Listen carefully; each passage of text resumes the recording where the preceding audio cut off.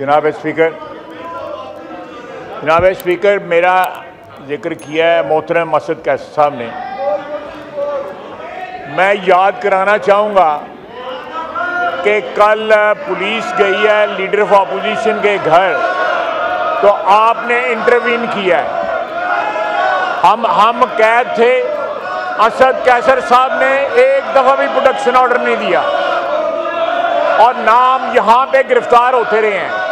Embassy road से मैं गिरफ़्तार हुआ। स्पीकर साहब जो उस वक़्त के थे, कोई उसके ऊपर जो है कोई एहतजाज नहीं किया इन्होंने। फिर वो रात याद करें, जब यहाँ पे वोट ऑफ़ नो कॉन्फिडेंस हो रहा था। आधे घंटे के अंदर बावन बावन फिफ्टी टू बिल्स जो है इन्होंने पास करवाए। इससे बड़ी तोहीन इस ऐवान की कभी तारीख में नहीं हुई। जो इनकी स्पीकरशिप में जो हुई बावन बिल जो है आधे घंटे में इन्होंने पास करवाए।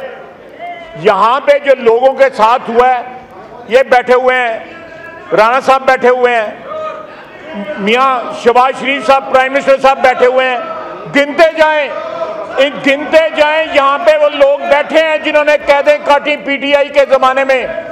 स्पीकर बोला कुकू बन के आपकी सीट पे बैठा हुआ था। कोई नहीं बोला, किसी ने एहतजाज नहीं किया। बोला इनका। ये आज कहते हैं कि हमें तकरीरों के लिए टाइम देते थे।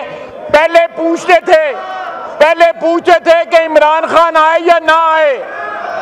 आपने तकरीरें करनी है तो वो नहीं आता। ये ये खुद हमें ये कहते थे। दफ्तर में बुला के कहते थे।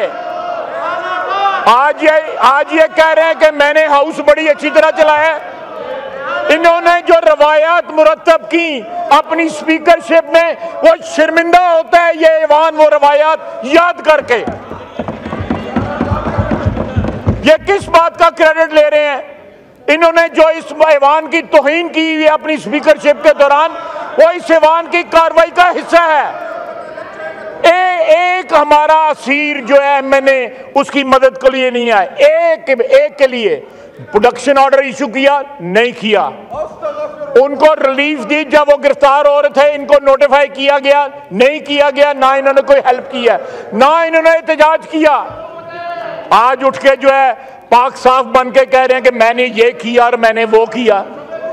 को खुदा का खौफ करो, कोई शर्म करो, कोई यहाँ करो।